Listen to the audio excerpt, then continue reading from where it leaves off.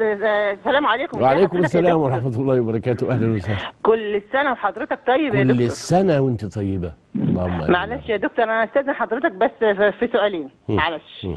معلش يا دكتور. بص يا دكتور آه، حضرتك أنا آه، إحنا سبع بنات. الله أكبر. سامعني يا دكتور؟ الله أكبر.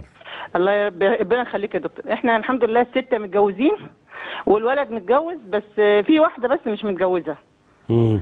هي عندها 43 سنة يعدلها لها ربنا ويسترها معاها أو يرضيها باللي هي عليه يا رب يا دكتور بص يا دكتور هي الوحيدة اللي عايشة مع ماما وبابا مم. المشكلة ماما سنها كبر. الحمد لله. آه، بص هي والله العظيم يا دكتور أختي بتعامل أبويا وأمي بما يرضي الله. مم. بس وبتحاول ترضيهم على قد ما تقدر وبتصلي وبتصوم و- وبت... وراحت عمرة الحمد لله ربنا كرمها. بس ماما زي ما تكون مش طايقاها عشان هي مش متجوزة. يعني هي فكرها إن هي إيه بتحب تجوز البنات وكده بس دي حاجة غصب عنها هي ما اتجوزتش. يعني إيه نصيبها ما جالهاش هي أختي راضية وكل حاجة بس ماما على طول بتتخانق معاها ليل ونهار حتى لدرجة ساعات بتدعي عليها. فأنا آه بس أختي والله ب... يعني بتعمل لها كل حاجة. حتى بتلبس الشراب لأبويا وبتعمل لهم كل حاجة والله وممكن ما تخرجش عشان خاطرهم. يعني يعني بتحاول تراضيهم بقدر الإمكان. هل ربنا برضه هي عايزة بس تسمع منك كلمة هل ربنا ممكن يستجيب منها؟ هيجبر ربنا خاطر أختك وهيرضيها وهيكافئها ومش هيستجيب دعاء أمك عليها. دي قاعدة خدوها احفظوها. أنت لو عملت مع الأب والأم أو الجن البني مفيش جن بني ولا جن ازرق آه؟ لو عملت أي حد في التاريخ في الدنيا معاملة ترضي ربنا وهو دعا عليك لا يستجيب الله. الكلام ده نعرفه في الدنيا. تلفق لي تهمة الفق لك تهمة لا قدر الله. أوه! إنما عند المولى عليم فلا يستجيب دعاء ظالم. أمك ظالمة غصب عنها.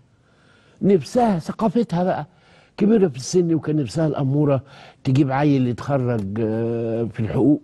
ويتدرب عند محامي كبير وطلع كارنيه نقابة ويشتغل كده. محامي وتقول أهلا يا ابن بنتي وبتاع. على قدها غلبان.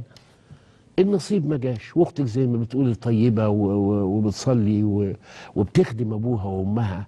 بر الجواز يا إخوانا خدوا كلمة لله وكلمة ليها.